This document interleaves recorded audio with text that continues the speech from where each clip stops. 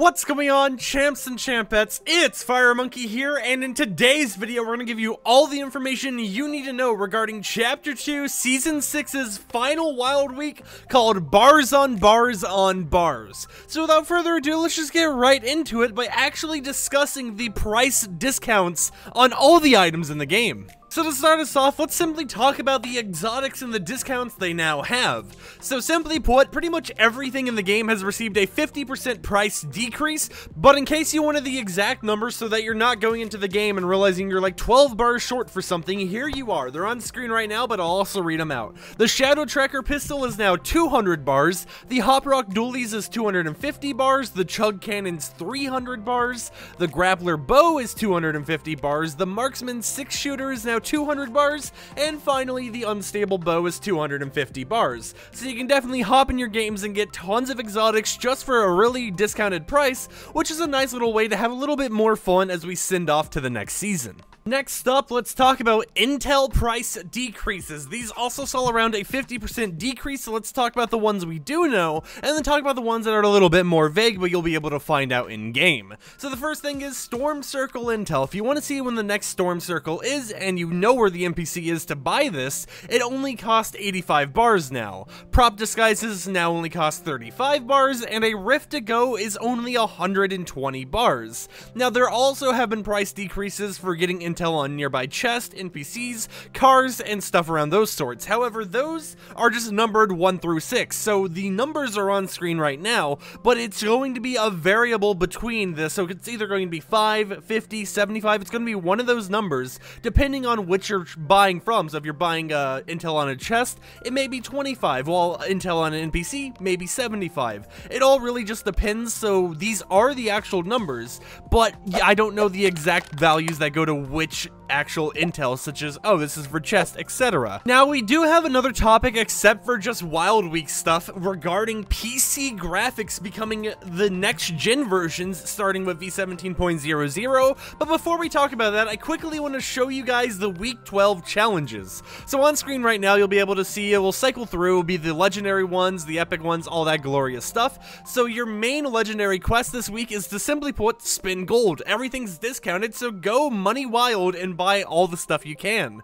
Now, for the Week 12 Epic Quest, our first set, which is, and when I mean set, what I mean is this. You have to do the first challenge, and then the second challenge, and the third one, is first, visit the zero point, then craft pistols, and then defeat a Spire Guardian. Now, since these are sets, and you can only do one per game, you have to visit the zero point in one game, craft pistols in another game, then defeat the Spire Guardian in another game. Our second set is to hunt predators, then tame boars, and chicken glide at colossal crops. Now, I know some people get confused by the word hunt predators, but that just means hunt hostile animals, so like raptors, hunt those type of things.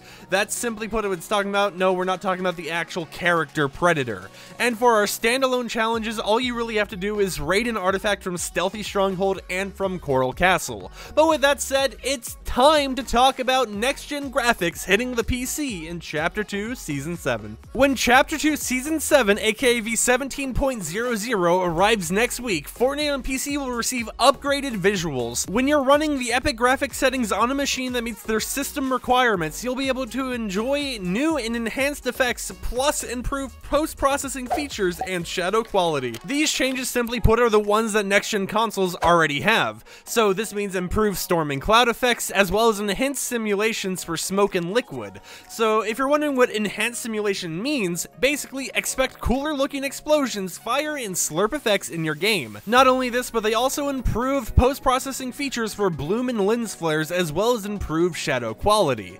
And because of these upgrades, Epic settings will require higher device specifications to run with optimal performance. This means that the high graphics setting on PC will now become the version that Epic originally was pre-V17.00, while medium and low stay exactly the same, and performance mode rendering in, well, performance mode. So if you're wondering the upgraded specifications that are going to be required in order to use these new Epic settings, they're on screen right now. You're going to need at least an NVIDIA GTX 1080, an AMD Radeon RX 5700 XT or equivalent, 4GB of VRAM or higher, an Intel Core i7 8700, an AMD Ryzen 7 5700 or something equivalent in the CPU field, 16 gigabytes of RAM or higher, a SSD, and Windows 10 64-bit. Now that's obviously going to be like their specifications and what they believe that you're going to need in order to have a stable experience on this.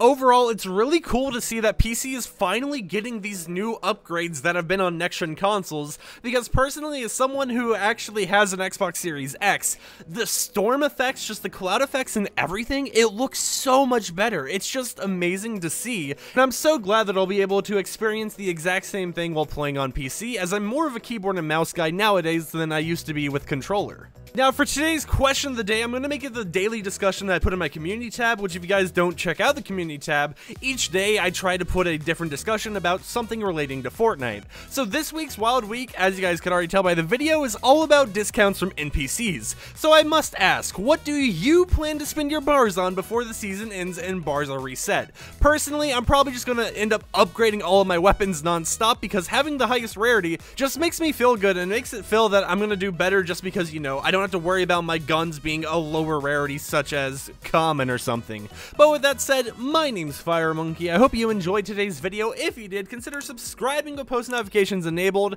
Dislike the video if you dislike it. I'm not really going to judge. Like it if you like it, of course, though. And I will see you champs and champettes next time with another YouTube video. Peace out.